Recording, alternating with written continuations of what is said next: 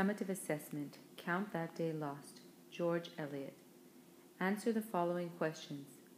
This poem has two stanzas. What does each stanza describe?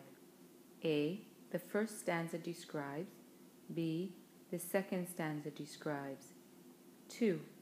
Give an example in your own words of what the poet says makes a good one. 3. When does the poet suggest we think about our behavior? A. At the end of each week.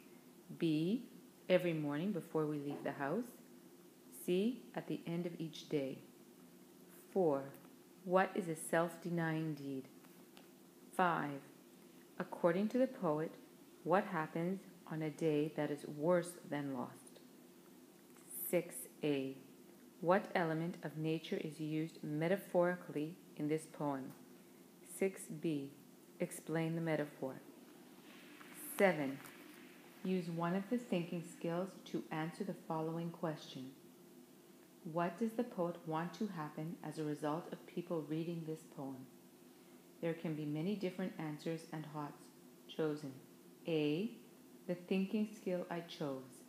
B. Answer. 8. How are the two stanzas of the poem alike and how are they different? Bridging text and context. 9. Read the following quote by the poet George Eliot. The important work of moving the world forward does not wait to be done by perfect men. Connect this quotation to the poem Count That Day Lost.